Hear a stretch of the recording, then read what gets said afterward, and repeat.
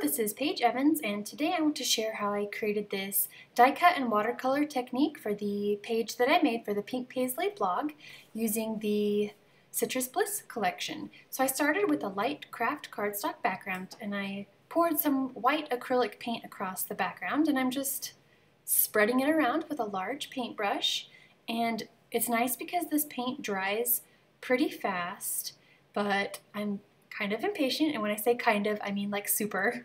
So I used a hair dryer to speed up the drying process even more. So I'm just spreading the paint around. There's really no rhyme or reason, just trying to go back and forth, I guess, horizontally, almost to the edges, but not quite. So yes, using the hair dryer to dry it all up.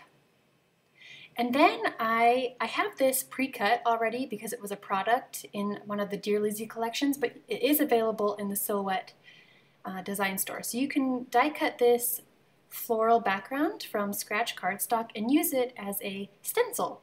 That's essentially what I'm doing is using it as a stencil. So I'm using watercolors and just picking up some paint and painting over the stencil. It's pretty easy. There's really no way that you can go wrong. I'm just trying to spread out the colors rainbow style.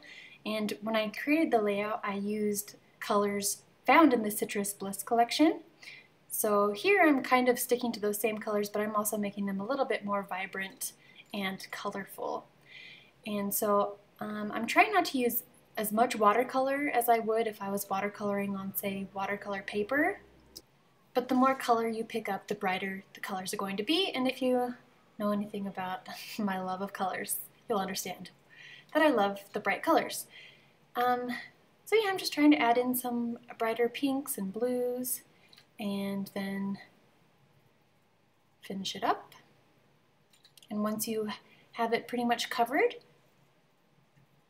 then you gently lift it off, which I will do momentarily. Ta-da!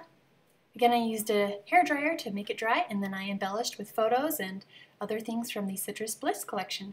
So I would love to see if you give this technique a try, and thank you so much for watching.